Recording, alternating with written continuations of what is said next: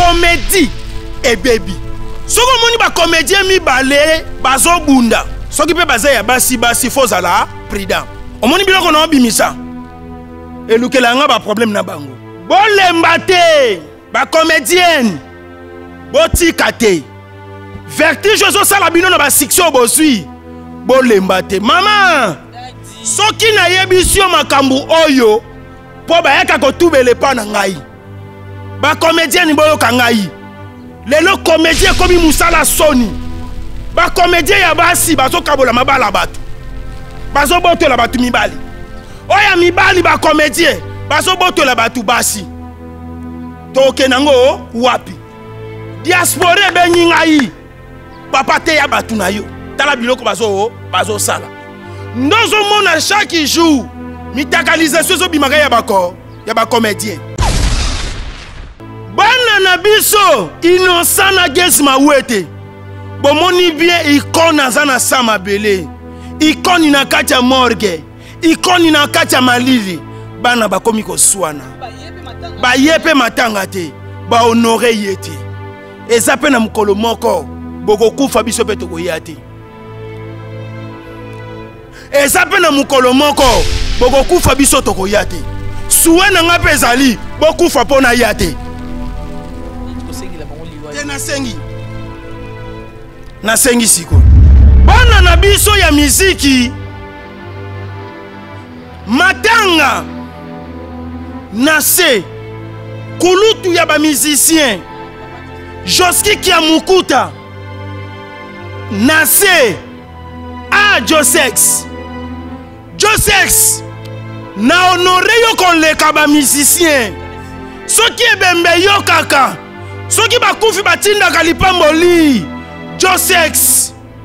tindela nga lipamboli ah sex ekei ah sex ekei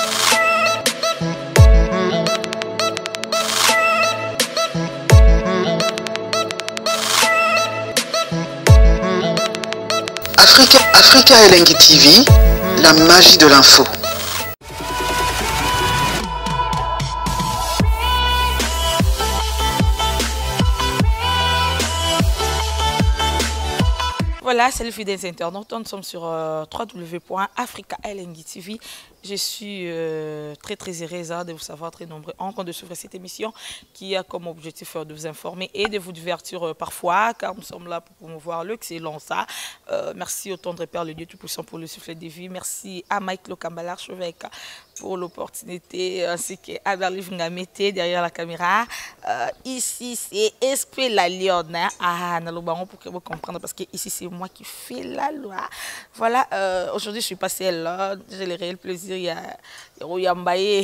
le pasteur liteya kanda après euh, après une année si ma mémoire est bonne oyo topesaka makambo mpela na internet ekendaki ezongaki lelo lisusu naza na pasta liteya ya kanda berlive ngami te si tu es d'accord avec moi eh, fongolo kotsa pasta ya kanda bonjour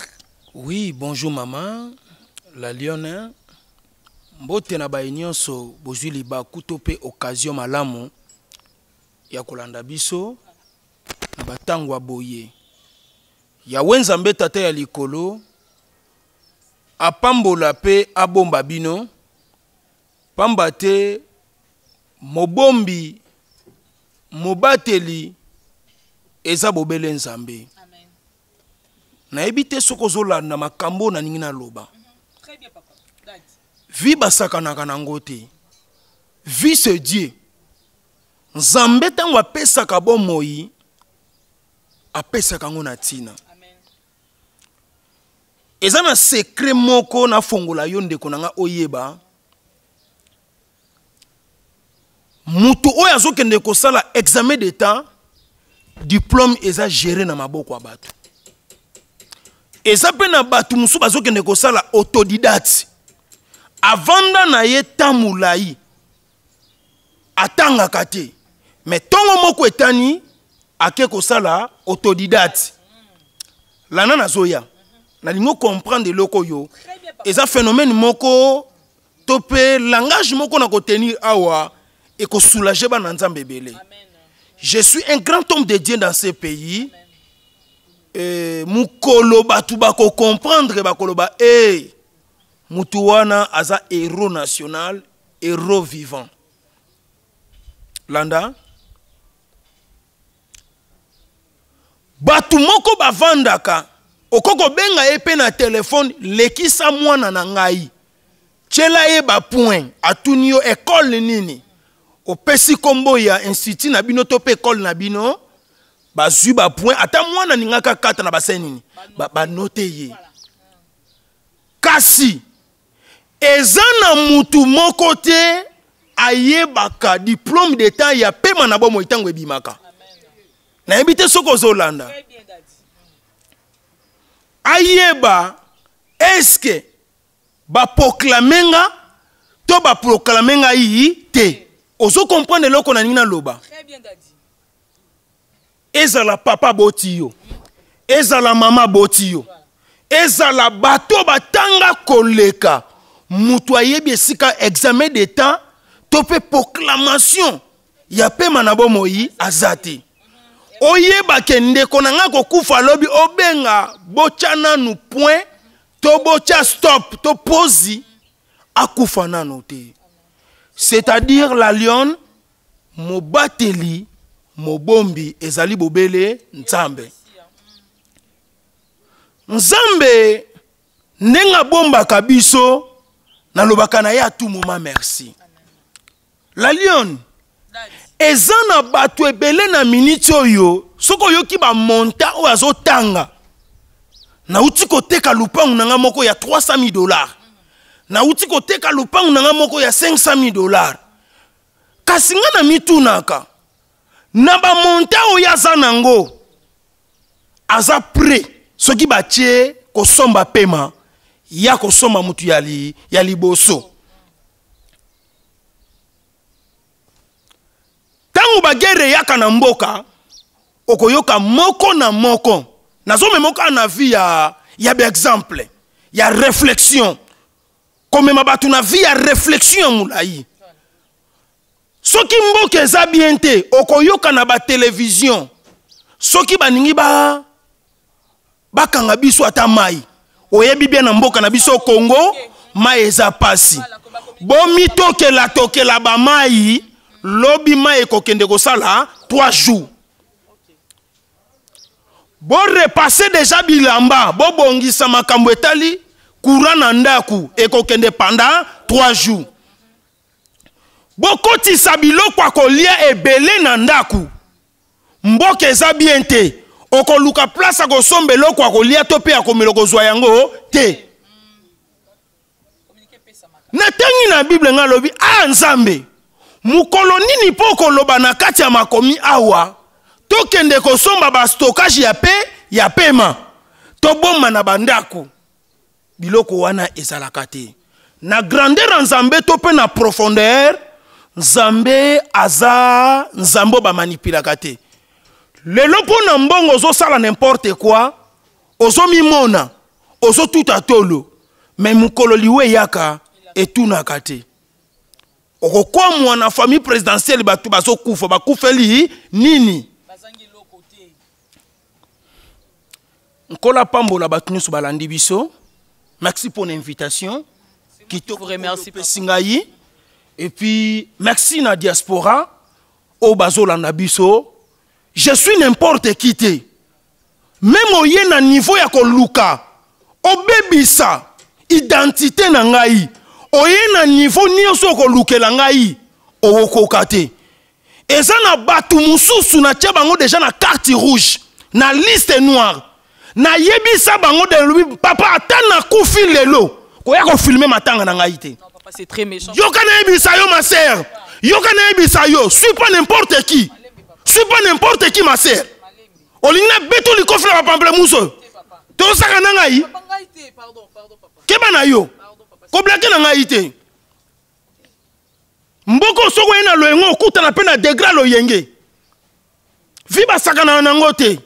masere kosalaka maseki te moto akoki kobomisiso na mokolo moko soki tozalaki souple te me bakombo yango mpe sila kola pambolo ndenge oye kozwa ngai na na kanda makasi eza na bato mosusu natye bango mosika nalobi ata matanga na ngai kofilme te ekota na site na yo te vous black avec les gens ekomi nini yango je suis le pasteur lite ya kanda calme-toi dadi calme-toi calme-toi en tout cas maison kitams tata pambola yo pablo kitambala bisika bizwami yo nkolo apambola onseni saidi kuna na turki na istanbul nkolo apambola libota na nzambe nyonso oyo bazozela ngai na kolongwa dimanche na ngonga ya 13h mpo na kokóma dubai lendi merci na communauté nyonso communauté congolaise nyonso oyo eza na mboka dubai oyo ezozela mosali na nzambe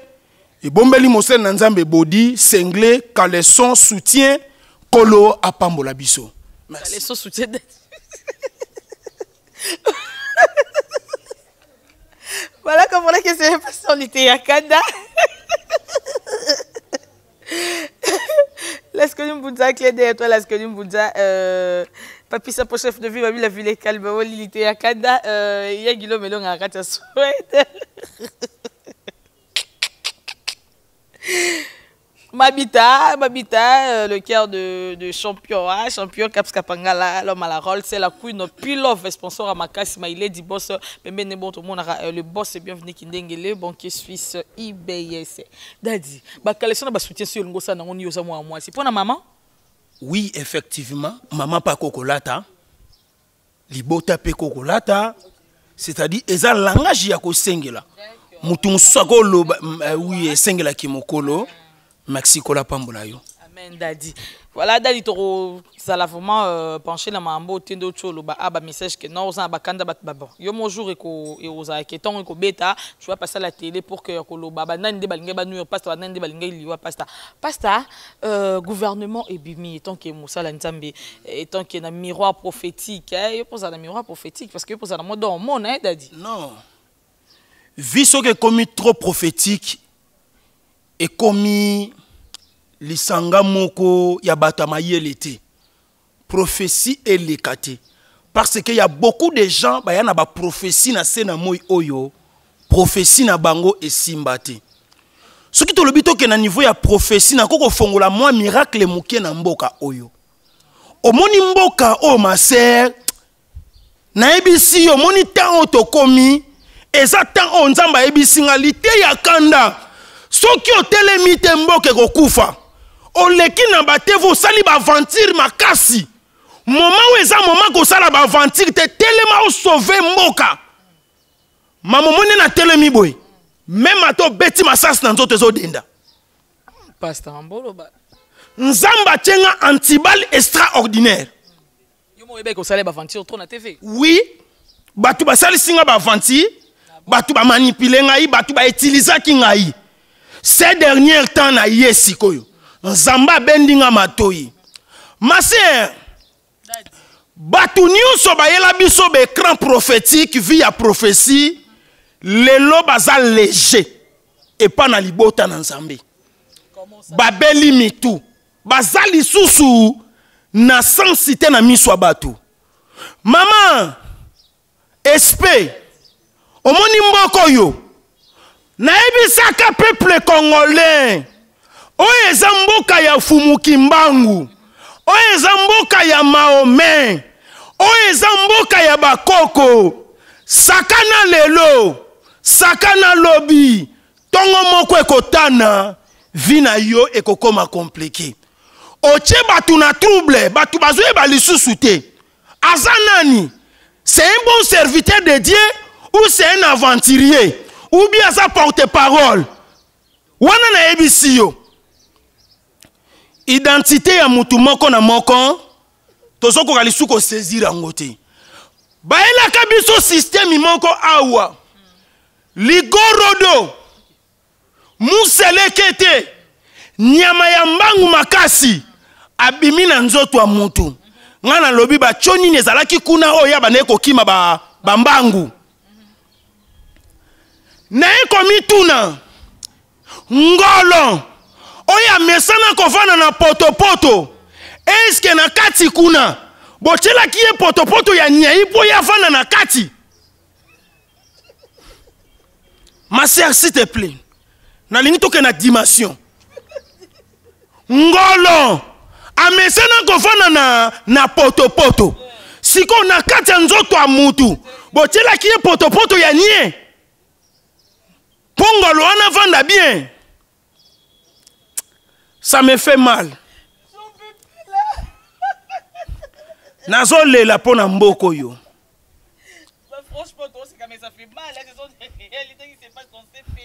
nzambe atelemisi ngai na fox oyo nabandaki na yango nzambe atelemisi ngai sikoyo na fox oyo nabandaki na yango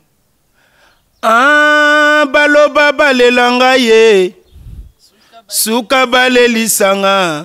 oyo alela na ekuluzu suka aseke nzambe na bomoi ye ah, baloba balela ngai ye Kola pambola yo pona nuance. Amen. Merci. Merci beaucoup. Euh, Dadi, gouvernement autour Obima, parce que tout le monde est eh, au côté Kunate, gouvernement autour Obima, et tant que Moussa Lanzambe, au trouvé en Ndengenini. na bani na nini nabeti ma tozeli yango mingi nabandi na maboko nzambe merci otinda ngai te mpo na koencourage buzoba na betise motinda ngai zongisa mikro nsima mama nalobaka makasi ezokota tre kitoko kolesa nga yango te eh, ekóma lokola te eloko ya kolia ntango mosika Le bon Dieu, le véritable Dieu, le Dieu de la Bible. Na pamboli yo pe na kumisi yo. Na moni bolamu na yo likolo ya vie na ngai. Pe likolo ya mboka o Congo ndenge ozo batela pe ozo bomba biso. Kolo zwa lokumu. Merci. Gouvernement ebimi bongo te. Trouble moko ekoti na minute oyo na mboka. ona kopapolela yango mpenza bato biebie surtout na église c'est bien moi pasteur lite ya kanda frappe na le frappe na retour effectivement pasteur warion le père spirituel de tous les warions nakobeta bato lolenge wana na papolo na nyati yo nakweyisi yo okota to hôpital Ebale ekauki, bambisi ya minene babimi. Vimana soki okovimana, pasuka soki okopasuka, okosala eloko te. Miliki na biberon azalaka na besoin ya mapa te kasi mokolo batiaka ye na nkopo esengaka mapa eya euh, natindi yo to interprete ngai oyo eza eglise la louange te mwana mwasi abanda kointerprete mwana mobali oyo eza eglise la louange te kende na la louange kuna na kasavubo okende kointerprete dadi na bino s'il te plaît Merci Daddy. Nayoki. nasali kaka mpo nga mpe namona bato boza soki oloba na français bato baloba na lingala soki oloba na lingala bato mosusu na swahili bato mosusu bango wana naproklamaka bango nga lelo proklame ngai te eh? hmm. ah, ok d'accord on peut continuer tikela nga ata naloba makambo eza très capital soki likambo omoni alobi eza très capital opesi nga mene soki omoni eza capital te ovandi na yo kimia c'est ça ke onga nalingi naza ko éviter ba problème makasi ces derniers temps po bato bazoluka nga mabe makasi na ndenge mpe ya mabe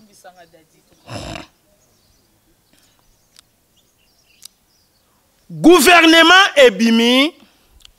tobwakeli bino bafleur mpe tosuete bino babonne chance na kati ya bafamille eza na motu mosusu botyela ye baduti bondima te kaka osala eloko ya malamu me bosutuka asala eloko ya, ya malamu nalobi te ke bokosala mabe nalobi mpe te ke bokosala ma, malamu lokola nanu namona ya malamu te moyen naloba ke bakosala malamu eza te ya motuya lokola papa lokola père de la nation lokola pasteur ya mboka congo napesi bango ba bonne chance mpe na souhaite bango mosala ma malamu ngai nazalaka nyonso bango nde bakopiaka ngai bayaka nde kozwa ideologie epa na ngai mama nazalaki pasteur numero 1 internet okosanti se deni ata nakomi kombati na mosala oyo nazosala olandi etoile nzambe asalanga grasi bokoko ya 1030 bokolongwa ngai na kotikala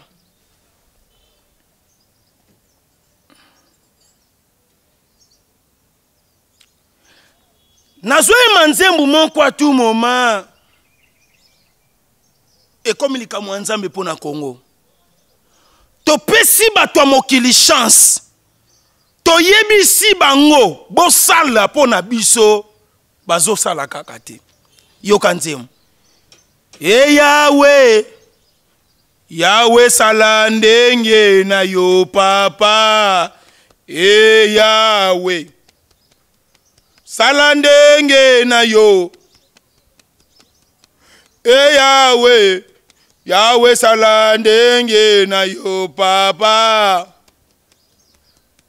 na politiki sala ndenge na yo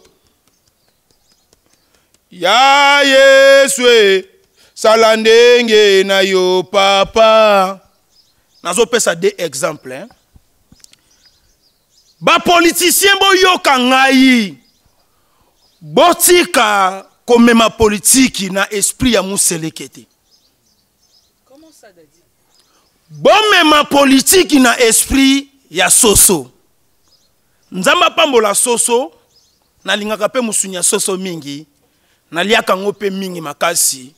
soso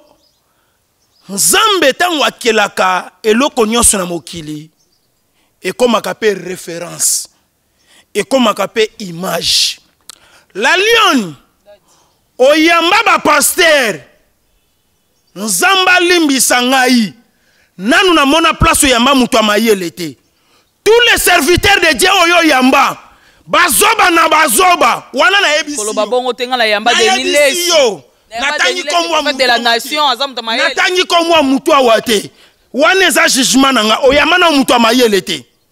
oyama na moto ya mayele te mbala liboso oyama moto ya mayele loba na nzambe merci te loba na nzambe merci eza grâce eza grâce oyamba bazoba là je vous dis là je vous dis la vérité oyamba bazoba mboka bazomema biso na systeme ya muselekete noke ya soso muselekete azwi zemi acimoli libulu abwaki bamaki akei histoire esani esili ntango maki ekomeli ntongo moko maki wana bana fo babanda kobima ko ntango bana bazobima landanga bien ntango bana bazobima tata na bango ya motu rouge atelemi penepene na libulu ndenge bana wana bazobima na force na bango mama esi atya bango na libulu akenda bana bazobima na force na bango tata azokanga bango ayosani azolia bango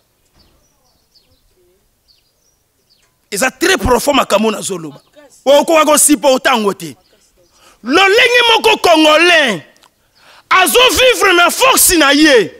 azolukela na force na ye mosala eza te ya kolia eza te ya komela eza te me ntongo na yango azobima boye kulu na bimi akati ye li, lisheti nazoloba biloko eza très capital nde okokomprene niveau na ngai yango nayebisi bapoliticien awa guvernema ebimi botravaille na systeme ya soso tala elembo ya soso soso abwaki maki afandeli maki ateti maki abandi kotambola na bana na ye soso alie bana baseni balie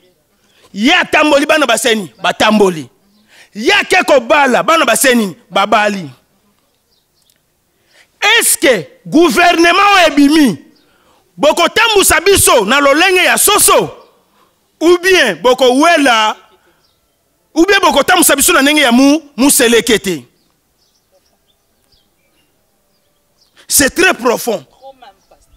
moto ateya boye aza te nanu moto ateya boye te nde nasengi na bakonzi ya mboka botala soso bakonzi ya mboka botala soso bokoyeba soso na mosala na ye landa tanke mosali ya nzambe guvernema ebimi eloko nyonso emataki na mboka wana na oyebisa sikoyo guvernema oyo esali nini ebimi na na mposa nayoka biloko ekita na mboka soki biloko ekiti te nazobwaka bambaso ya gorge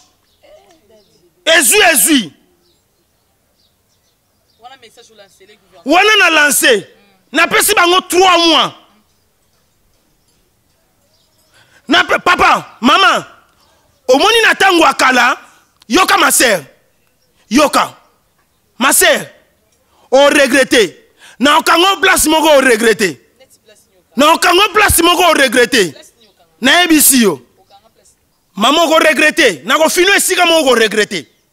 wana nayebisi yo te nakofina yo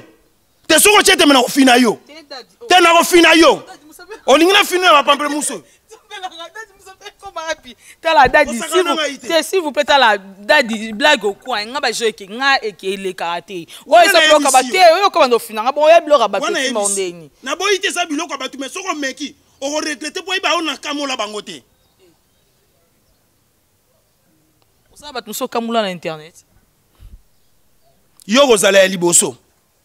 landa na esali nini yana po esali yo nini te zela naloba makambo eza te vas-y to continue nde ozomona nayebisi guvernema ezala guvernema ya baresponsable noke ya bairesponsable ma sœur soki nayebi biso bapriere oyo ngai nasala na ngomba mangengenge mpo nabima mboka oyo okondima te na bandai kokende mangengenge nazosambela banda ntongo ti mpoka na bajeune priere nkolo bimisanga mboka oyo otinda ngai na mboka oyo mpo na nini oyo mboka te guverneme ebimi nalingi ba irresponsable te nalingi ba responsable bozala ba papa ba papa bayebi pasi ya bana ba papa baboti bana na pasi mpo tozomona lelo makambo ezotambola te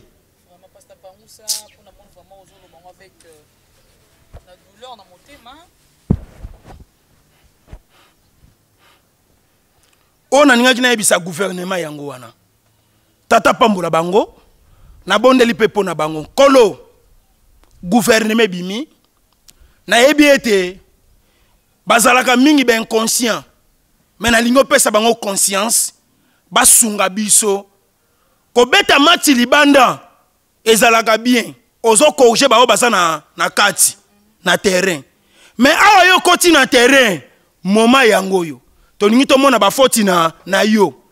eza terrain oyo elelisi mpe bato ebele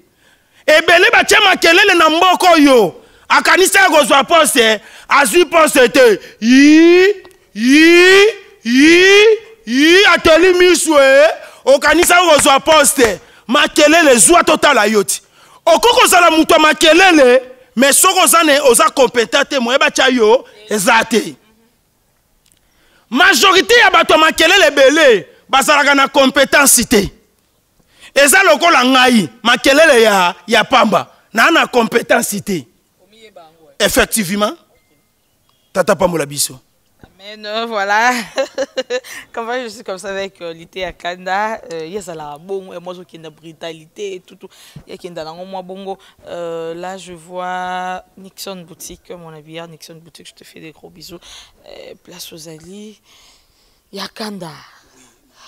Daddy, ozoyeba mpe baproblème oyo ezoko se passe euh, epa bana na yo ya bacomédienne euh, Ixil et puis na Sila Bisal oyo toyebaki euh, bazalaki plus que deux sœurs oyo bazalaki mpenza place omona Sila soce elongi mopanzi omoni Ixil peshanga mais lelo guerre mpenza mbutu mbutu ekoti na kati na bango wana nayebi te tant que papa tant que père spirituel aussi ya biso nyonso tout bapersonne publique bafemme publique yango oyo tozali nayebi te okoloba nini Merci beaucoup. Ezala Ixil, Ezala Sila, bana nyonso ya théâtre baza bana na, na ngai. Mais na matoyi na ngai nanu nayoki problème te. Kasi lokola yo oinforme ngai te namoni te mama lokola yo oinforme ngai eza mpe moye ya malamu epermettre ngai napesa conseil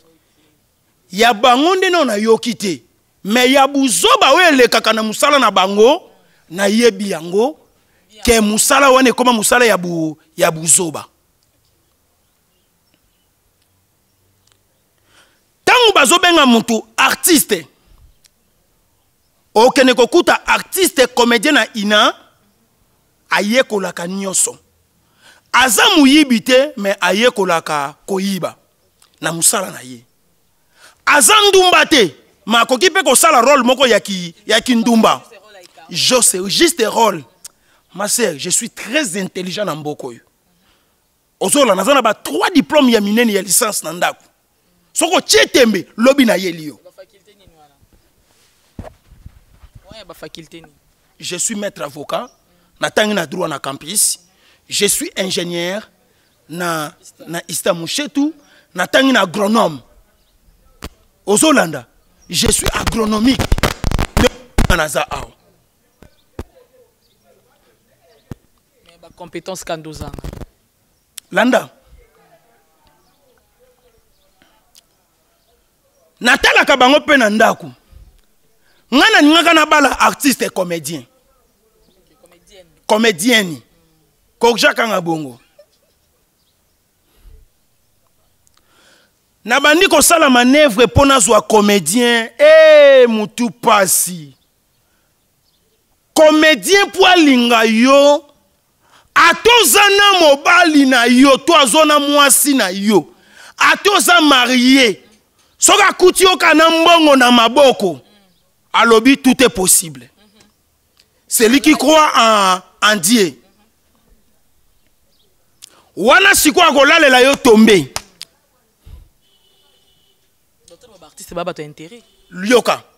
koloba na yo te bakoyina opamba omoni ngai nde naza boye nzoto oyo natonda koyina natonda kofinga natonda kutu baboloko lobi kutu nazoleka na liboso ya prison ya ndolo na mituni ngai alobi a ah, nzambe sala nga ngolu nanu nakota ndolo te nazwa mpe chance nabeta ata ndolo mbala moko po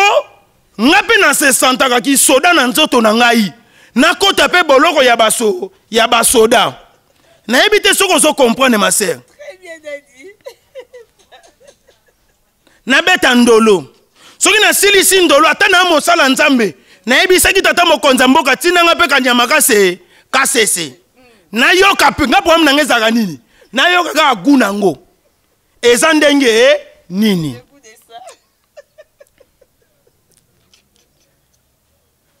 mama mosala esili bandeko ba, ba na biso batalantie baza lisusu te mpo bamemi buzoba na kati ya talan talan etambolaka na buzoba te oye na miziki okokuta na miziki kuna bazonongwana bazoyokana te naye kovanda na comprendre ke non bainconscient bakomi ebele na congo sur tous les plans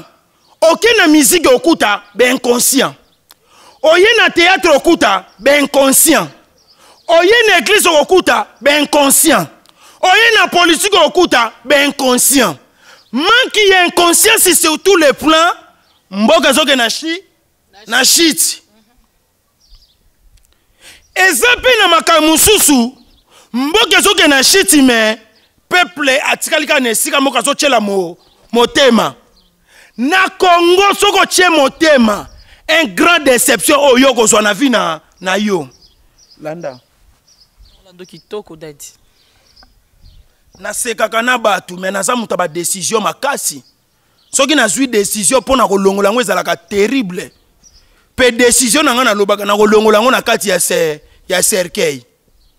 je suis un grand homme na, dans ce pays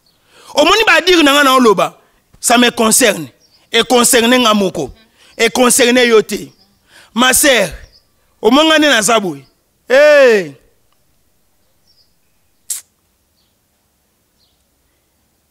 ebembe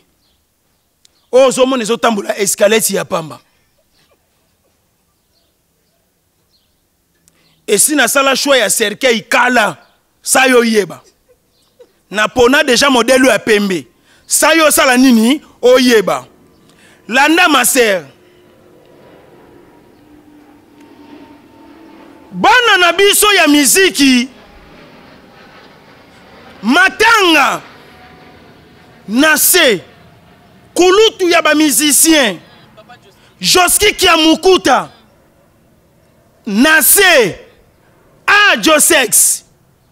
josex na honore yo koleka bamusicien soki ebembe eyokaka soki bakufi batindaka lipamboli josex tindela nga lipamboli a ah, sexe ekei a ah, sexe ekei josex tala sexe ndenge ekei a ah, josex Josky Kiambukuta, Tata apambola yo, molimo n'epema na kimia. Lana ma sœur, nayebi oza na moyi, naloba rapide po nasundola yo, okende ko bouger te, te kopusana te, okoyoka moyi wana ekota yo makasi, o sentir ke moyi ekoti yo na nzoto, okoyoka moyi ti na suka, vanda wana, akolongwa te. yaya bana na biso innocent na gesi mawete bomoni bien ikone aza na sa mabele ikoni na kati ya morgue ikoni na kati ya malili bana bakomi koswana baye mpe matanga te bahonore ye te eza mpe na mokolo moko bokokufa biso mpe tokoya te eza mpe na mokolo moko bokokufa biso tokoya te suwe na ngai mpe ezali bokufa mpo naya te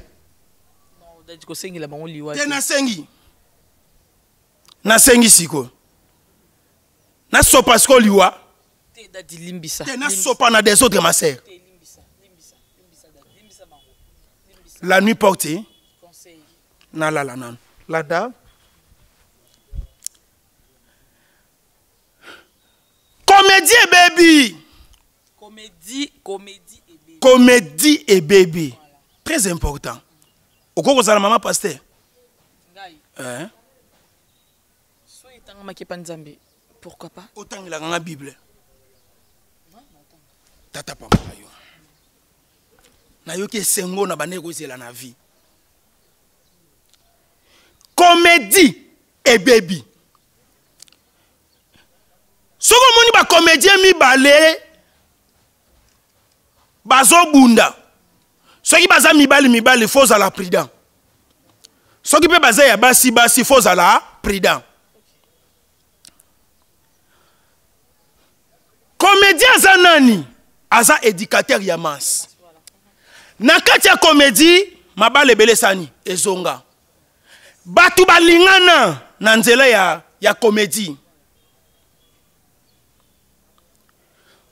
omoni komedi ezalaki nango bato basali komedi makasi na mboka oyo mais valeur ya valeur pene ezalaki te eye kozwa valeur après okoremarke komedien nyonso abotama na famille ya pasi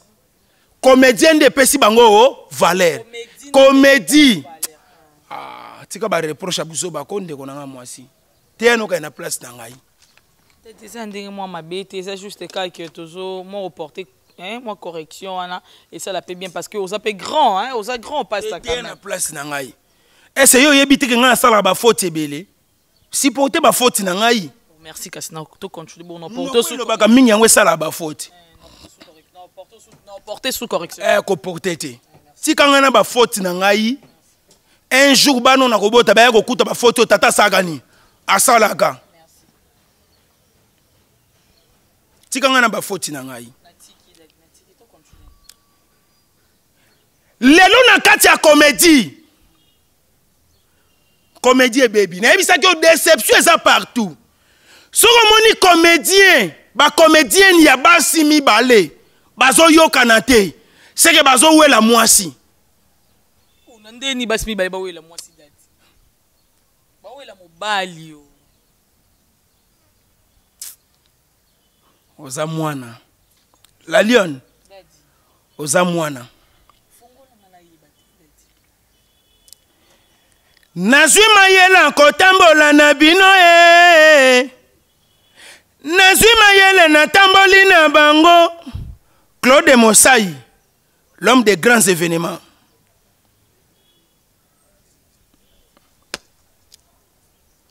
nzoka bolamu ya mama lopango mino na ye basalelaka ngo feti te zoba na zoba nde se na moto ya mayele owelaki se kokima kasi oyokanaki na mabaku te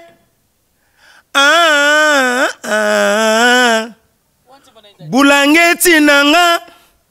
ekoti binsekwa ndako yo bolingo ezalaka mabe ekozangaka te nsanduku mboka ezangaki mibeko mokonzi amonanaki nano te sanduku nzela na yo landa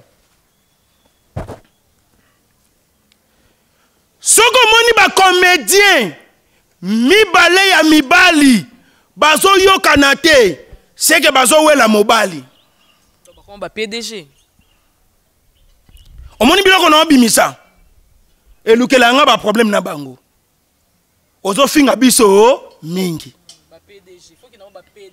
bapdg eh, non okoyebisa nga kuna yo te bapdg ce sont des pede nakoloba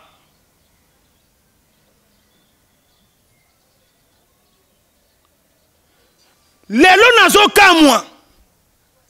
pastere oyo azotanga nkombo ya jésus christ oyo mpe azotanga nkombo ya, ya jesus christ bato ya jesus christ bazoyokana te science bazowela poste na niveau ya bafarmasonnerie wana na ofongolo siko biloko eza très capital masere eza bamatière oyo na obimisa nde naza boye nakoswana na papa mosengo te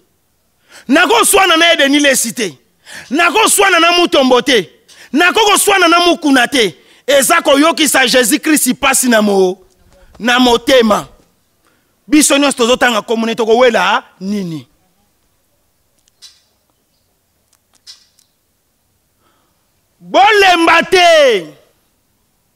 bacomedienne botika te vertige ezosala bino na basiksi oyo bozwi bolemba te mama soki nayebisi yo makambo oyo mpo bayaka kotubela epa na ngai papa nalingi natika mosala wana lelo na kati ya komedi eloko ezokamwisa ngai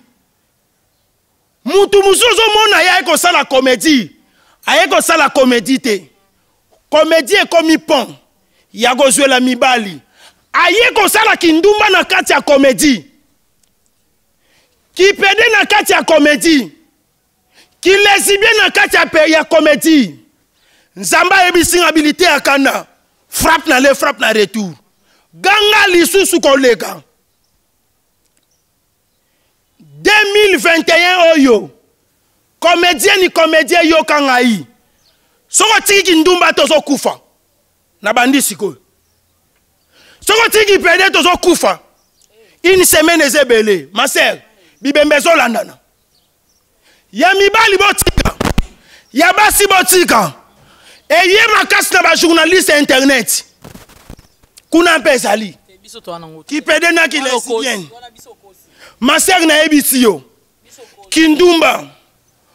tika nasambwisa yo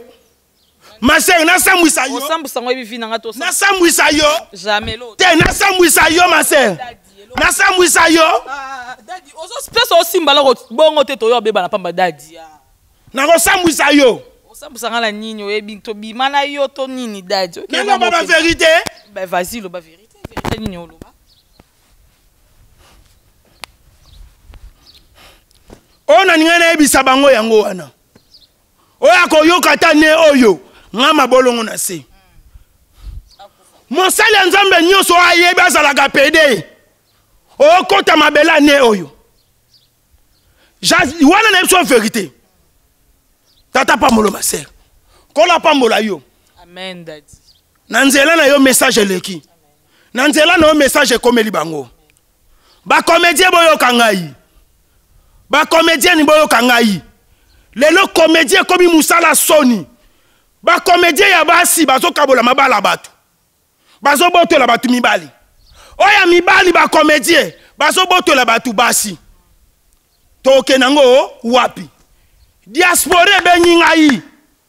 papa teya bato na yo tala biloko bazo bazosala nde ozomona chaque jour mitakalisation ezobimaka ya bako ya bacomédien oyo aza na mato ya koyoka motema kosimba wana bandeko katolike bato balobi bongo tata pambola biso amen merci euh, c'était comme ça le pasteur ya kanda euh, ah.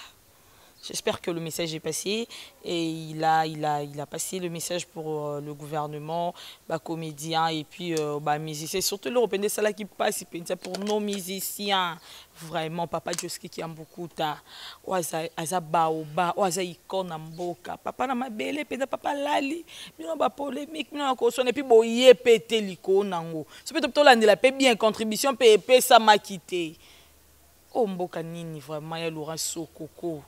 ya Laurent Sokoko mboka nini totika soni wana on fait la honte vous pensez que nde eza na boloba nyonso tu bozwa bokwesela yango kaka o oh, eh, Fatshi Beton o oh, gouvernement non non non bino bobe bokoki ko s'organiser ti hmm? bokoki ko s'organiser mpe bino na bino bino moko vraiment en tout cas tomeka mpe ko changer ba comédien to changer bo changer pardon eh, ba ba ba, ba musicien aussi bo changer ekosala bien ekomataka kita ya mboka dadi oyebi ke ngai natoki makasi eh, natoki mpenza makasi donc kenga moi natoki mateya mateya etokisaka omoi te ngai moko nazotoka tala pochette Nazo toka makasi. Nkolo apambola Prince Monzali, tata lopango Prince Monzali kuna bisika bizwami yo. Nkolo apambola Maître Lola. Apambola Maître Patrick Mpiana kuna na États-Unis. Apambola Chura Mboma. Apambola Elikia Christian Kambaji. Apambola Kervin Kambaji. apambola enseigne saidi bisika bizwami yo tata apambola yo apambola edgar business apambola papi bunzi papa français ah papi bunzi papa français véritable français papi bunzi tata apambolo ab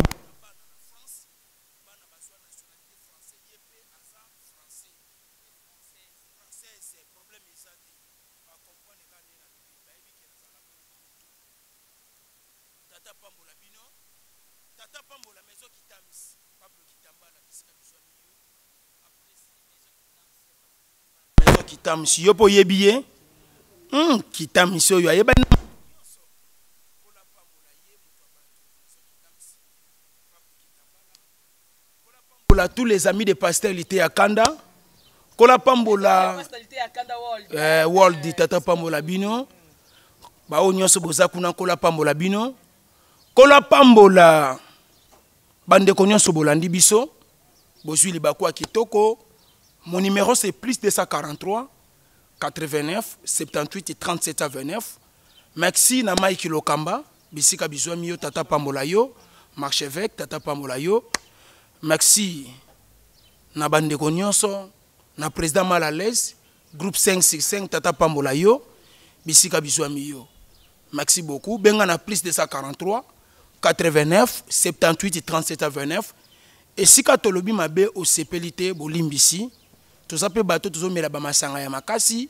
masanga soki ese ekoti na nzoto ekolobisa yo bilobela Tango kwiti ezo sila na zui conscience yango faut kosenga bolimbisi bato olobeli baza bata niveau na yo te ozo yoka ya ma sœur c'est très capital kola pa na ya Willy Musheni te ya Willy Musheni plus 243 tata pambolo bisika bizwami yo merci beaucoup Merci beaucoup, euh, honorable Patrick Katengo, l'espoir de la jeunesse. Bonjour, honorable Patrick Katengo. Parce que l'espoir de la jeunesse. Oui, espoir de la jeunesse, honorable Patrick Katengo. Katengo, honorable Patrick Katengo, Tata Pambolayo, espoir de la jeunesse. Tolingi penza to mon espoir ango papa, surtout na musalo zo sala, honorable Patrick Katengo. Na pesi yo ba mbote, na yokaka ye, mais nanu a visita ngai te. Mm, nga pe no a visite ngai te, mais ako visite. Uh-huh. Ako visite. Po turo tolingi ba visite ya malamu. Oyo ezo tika histoire na vie ya moto. Moto azo prepara visite ngeza ya Willy Musheni. Ah, Plus 243. Soit nga na kia ko visite ye, soit ya ye ko visite nga. Retour na biso to ke visite. Oui oui. Ah, oui oui. Bandeko communauté congolaise nyonso oyo boza na mboka dubai vraiment nasengi soutien na bino na arrive na ngai kuna nasengi mpe napesi mpe lisusu babon séjour epai ya fali pupa di cap la merveille azosepela na bawario nyonso ya dubai ezosala kitoko makasi tata pambola biso amen papa pambola biso kande pastalite ya kanda otikoloba Euh, bo soutenir pasta ba diaspora nyonso to na mboka dubai boyamba pasteur liteya kana déjà c'est dimanche aozala kuna na bino bajournaliste bo se présente boza kuna oyo mpe aza na ndeko na ye elinga liteya ka pasteur liteya kana kobosana te na invité yo le 2 mai na beni le visionnaire na kasavu busayo tobengisi bachroniqueur nyonso bachroniqueuse nyonso bacaméraman nyonso conférence te baconférence eleki trop mosala moke ba conférence e, ebele mobange na spectacle ya pasteur liteya kando todenomaka yango todenomaka yango 4e édition 4e édition bandeko nyonso tobengisi bino boya na ngonga ya 14 heures na beni le visionnaire tinda cameraman na yo tinda journaliste na yo aya kozwa image le demain ozolanda ekolandana na baprogramme na ngai parce que bientôt nouveau marié